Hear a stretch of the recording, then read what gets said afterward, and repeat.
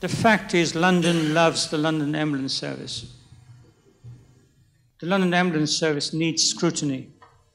Who scrutinizes? Well, it has to be the mayor.